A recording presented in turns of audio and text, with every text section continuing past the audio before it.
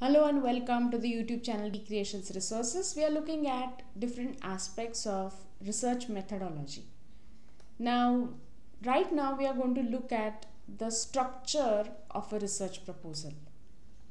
Already in the previous episode, we have spoken about the guidelines for a research proposal.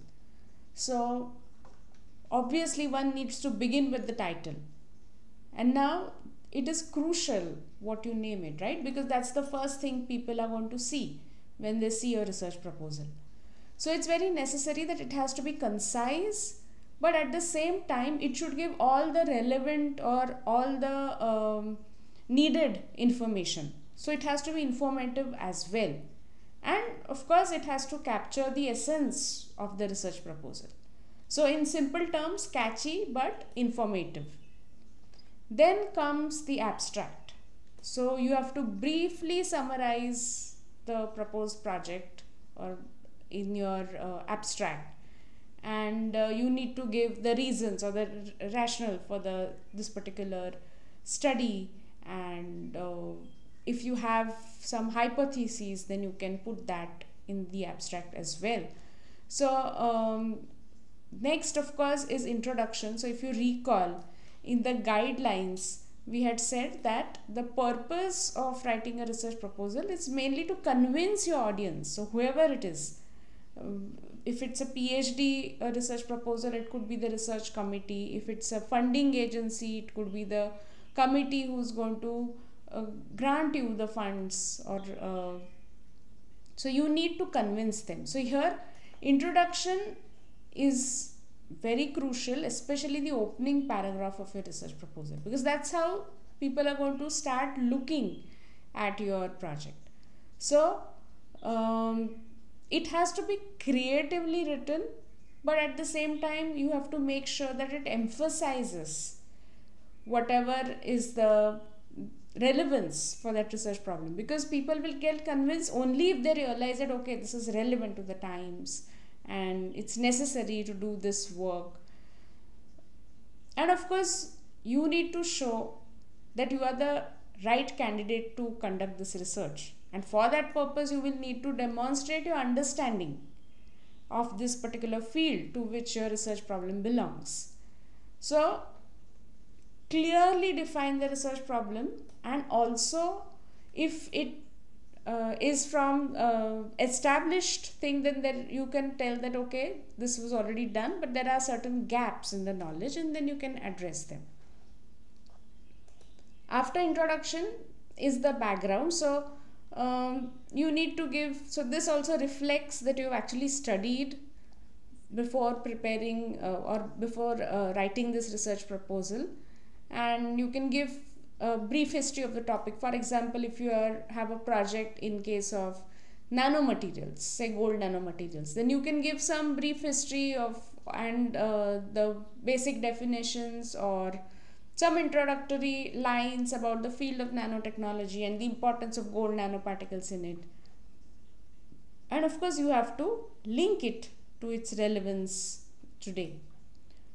Then comes the literature survey. Now, actually, this takes maximum time because you have to be very meticulously taking down all those references which are uh, related to the field in general and which you have referred to before coming up with this research problem.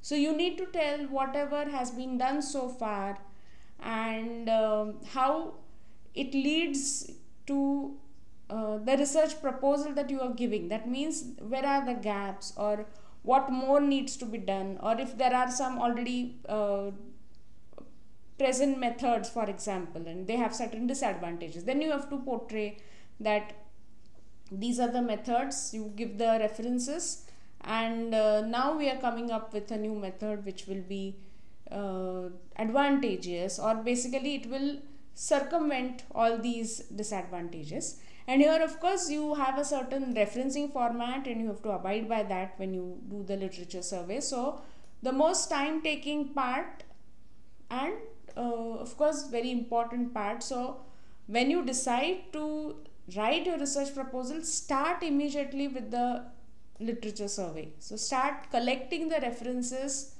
um, which you can use in your proposal. Then of course we come to the actual research proposal and you have to talk about all the objectives. So what questions do you need wish to answer and uh, don't be very ambiguous or don't beat about the bush when it comes to objectives. You have to be uh, right you should be writing it clearly and uh, especially in case of science uh, experiment oriented research proposals they have to be measurable. And of course the objectives they are going to emerge or uh, from the problem statement. So they have to be linked to that. Then after objectives comes the methodology. So um, you would have already given a lot of thought to how you wish to proceed and that you need to put down on the paper here. So you have to describe the research design, design how you have designed the experiments if at all and what techniques will you be using and uh, what me methodology you, you will be using. And there are two parts. One is generation of data which you will be collecting and then of course the analysis of data. So you need to mention all this. And of course then while doing that you need to um, justify whatever approach you've chosen right? And uh, discuss the strengths of it especially over those mentioned earlier in the literature survey. And of course you can be candid and uh, mention limitations if any. And it has to be very logical and organized because this is how this is going to happen step by step. So a person should know about it very well then comes the section on resources. So uh, you need to here you will because especially if you are writing it uh, for getting funding then this is very important that you need to mention what all resources you require. So it could be instruments it could be equipments certain facilities. Um, if it's a chemical based or chemistry based research then certain chemicals and some labware softwares whatever database if you need to refer to all that you have to meticulously list it here. Then after doing that now these things they are little uh, subjective to uh, where you are writing it. So for example in phd proposal not everyone expects you to give a timeline but if it's a research grant that you are looking for definitely you need to give a timeline. And it has to be very realistic. So this word is very important. So there depending on whatever is the total project period you are expecting you can divide it into equal intervals. Say for example suppose if it's a 5 year project then you can write that at the end of one year what goals do you expect to have reached? At the end of second year what would you have done? At the end of third year what could you have done? And so on and so forth. So this is a very realistic part. Then of course come the results conclusions. Uh, so here of course you are yet to do the experiment. So everything is in the future and you are going to uh, describe the results which are expected or the outcomes which you feel you would get. And of course you have to emphasize on the impact of your research so um, there of course you can link it to how uh, your research is going to contribute to the field and how it is going to um, address the gaps if any. And then of course there are some, uh, some things which may or may not be necessary. It depends on what kind of research proposal you're writing. Again uh, um, usually uh, it is specified what all you need to mention. But it is preferred that your research project is environment friendly and it helps the society.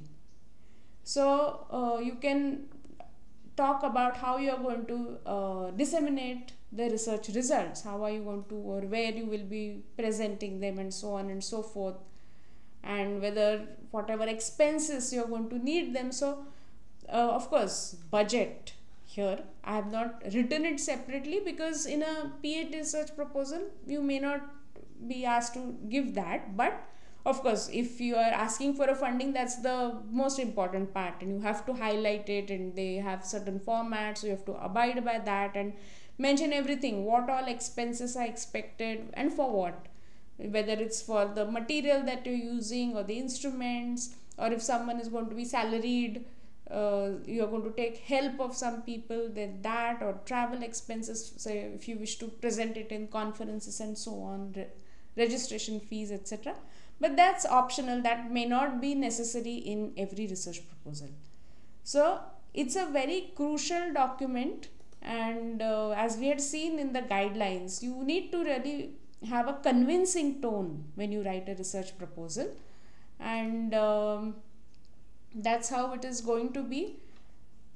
And make sure that don't you don't make any unrealistic claims. Keep it realistic. So that uh, even the reviewers who are going through that also understand that okay this is a genuine proposal okay? So hope this helps you when you write your own research proposal. Thank you